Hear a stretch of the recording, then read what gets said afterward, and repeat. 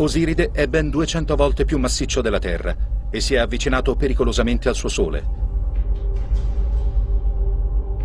Distante appena 4 milioni di miglia, circa 6,5 milioni di chilometri dalla superficie della stella, Osiride è un vero e proprio inferno.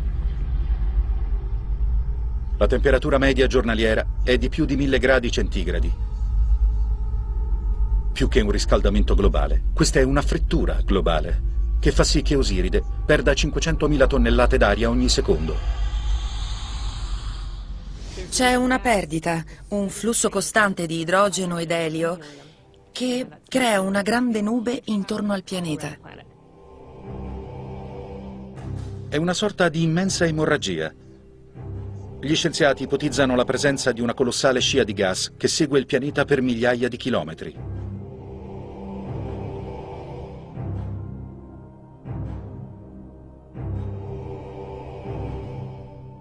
Osiride rappresenta un'opportunità senza precedenti per gli astronomi. Usando Hubble, analizzano la turbolenta atmosfera del pianeta. Per la prima volta possiamo conoscere la composizione dell'atmosfera di un pianeta extrasolare.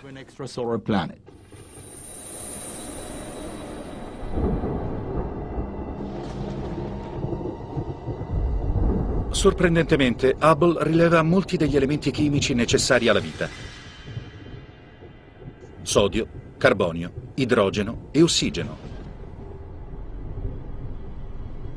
Ma Osiride è troppo caldo per la vita come la conosciamo noi. In realtà esistono organismi che vivono ad alte temperature. Ma i giovi caldi non hanno una superficie solida, quindi la vita si ridurrebbe a microbi galleggianti nell'atmosfera. Sulla Terra ne abbiamo vari esempi, che però si sono trasferiti nell'atmosfera in un secondo tempo, il che esclude che Osiride possa ospitare la vita. Gli astronomi hanno individuato molti giovi caldi dopo la scoperta di Bellerofonte nel 95. Ma le condizioni di questi mondi rende impossibile lo sviluppo della vita.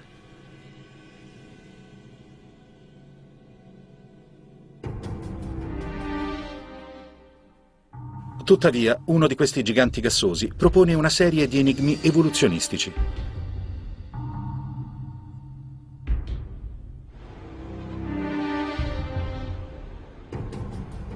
Geoff Marcy ha scoperto l'incredibile comportamento di un pianeta orbitante intorno a una stella chiamata 16 Cygnus B, a circa 70 anni luce da noi, nella costellazione del Cigno.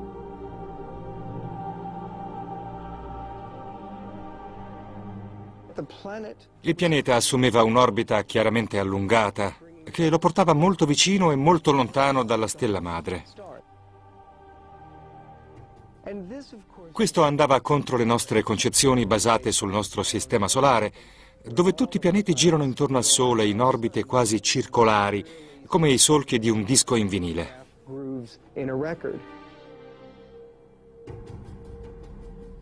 Come un enorme yo-yo spaziale, il pianeta gigante oscilla avanti e indietro nel suo sistema solare. È come se la Terra si avvicinasse al Sole di 25 milioni di miglia, più di 40 milioni di chilometri, per poi essere catapultata oltre Marte e verso Giove ogni anno.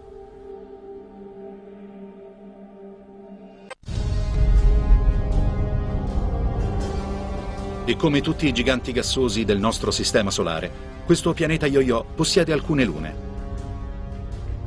Mars ipotizza che una di queste lune possa essere simile alla Terra.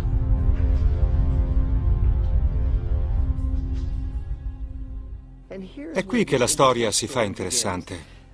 Immaginate una luna rocciosa con laghi, oceani, forse anche corsi d'acqua in superficie. La luna orbita intorno al suo pianeta e insieme ad esso orbita intorno alla stella. A differenza della nostra Luna priva di atmosfera, questo sarebbe un mondo vivo e dalle stagioni estreme.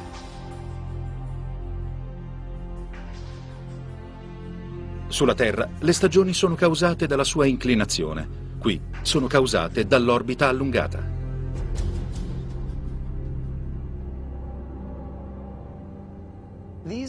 Un pianeta con orbita così allungata non può non subire tremende variazioni stagionali nel corso dell'anno. Mentre si avvicinano al punto più prossimo alla stella, il pianeta e la Luna vengono completamente bruciati. È l'inizio dell'estate. L'atmosfera sulla Luna è spazzata da tempeste devastanti. I nostri uragani di categoria 5 sono sbuffi di vento in confronto ai mostruosi vortici che si formano qui.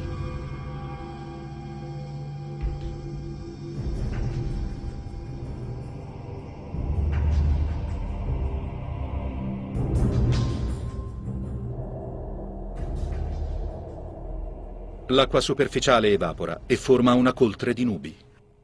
Le temperature crescono vertiginosamente.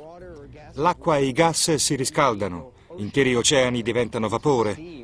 Una sorta di gigantesca sauna. Al culmine dell'estate, la Luna presenta temperature superiori ai 400 gradi centigradi.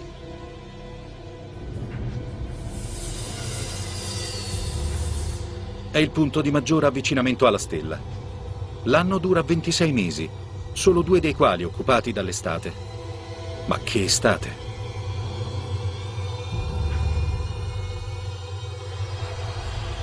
Poi il pianeta e la sua luna si allontanano dalla zona calda. Le temperature calano fino a livelli che noi troveremmo confortevoli.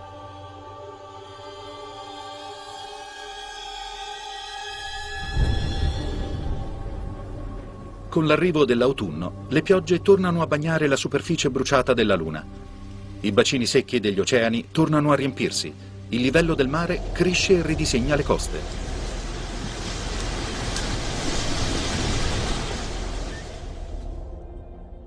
Le condizioni tornano tranquille, mentre il pianeta e la Luna scendono nel gelo profondo dell'inverno.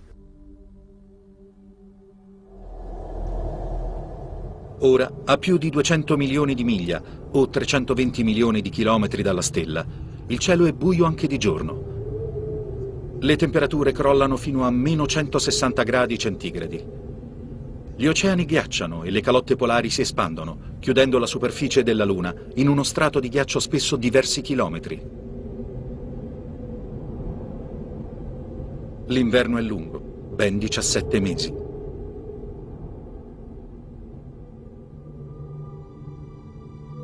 Ma con l'arrivo della primavera la stella torna a splendere nel cielo, spezzando e sciogliendo violentemente la coltre di ghiaccio.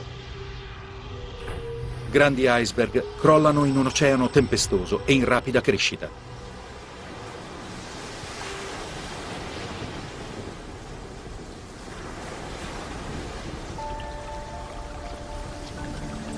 Per due brevi e preziosi periodi, il disgelo primaverile e le piogge autunnali, il clima della Luna diventa vivibile e confortevole.